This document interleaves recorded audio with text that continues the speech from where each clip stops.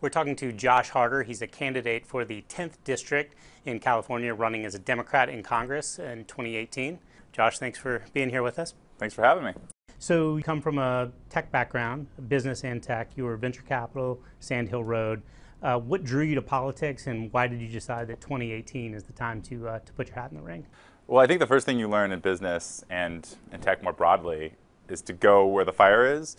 And I think if you look at our political system right now, there's no question that the biggest opportunity for improvement, the biggest opportunity for change, and our biggest challenge is all political.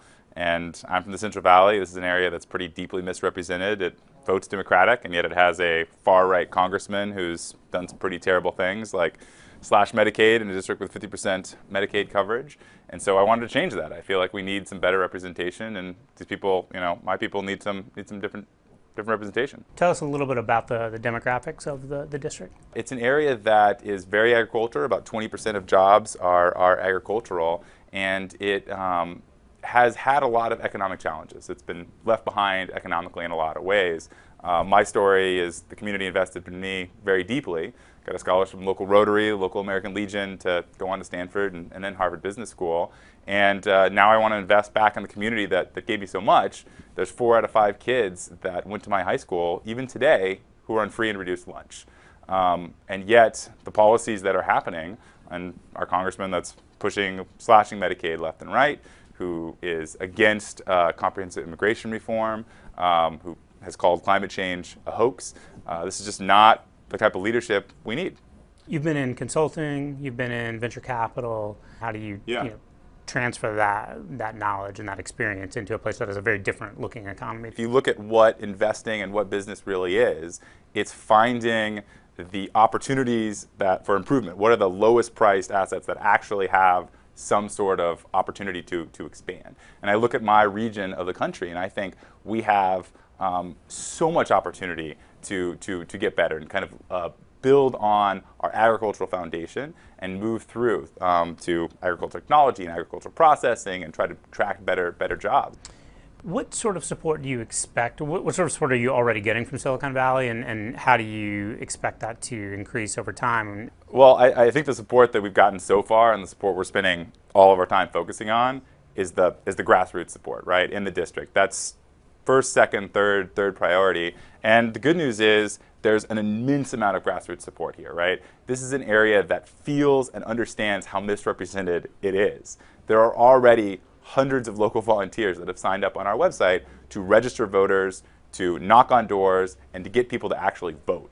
If there's one um, problem that you think Jeff Denham has run into that is, uh, is a glaring issue, is it ACA repeal, or is it, is it something else? Is there something else that you know that the residents of Modesto and Turlock uh, yeah. are fundamentally opposed to? Look, I, I spend all my time talking about three issues, which are all bread and butter issues Jobs, how do we get better, more jobs to the valley?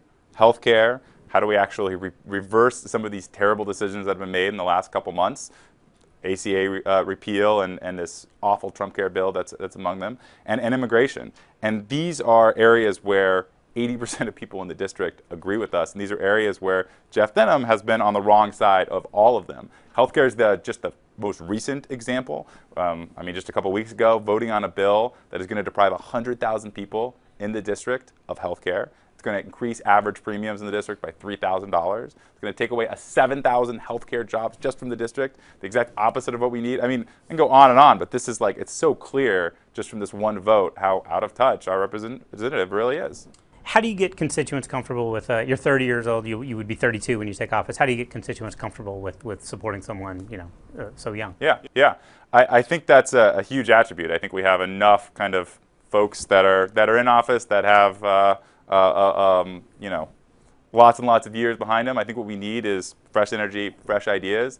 These problems aren't being solved in the Central Valley today. What do I want to do? I want to figure out you know how we can actually solve these problems. We can accept what the other side says, which is blame it on immigrants, try to tax a little bit a little bit more of our trading partners, or we can say this is the economic reality we need to figure out how do we invest in our education, how do we invest in our infrastructure, and how do we kind of position ourselves for the economy that's going to happen in the future. Hey there, thanks for checking out CNBC on YouTube. Be sure to subscribe to stay up to date on all of the day's biggest stories. You can also click on any of the videos around me to watch the latest from CNBC.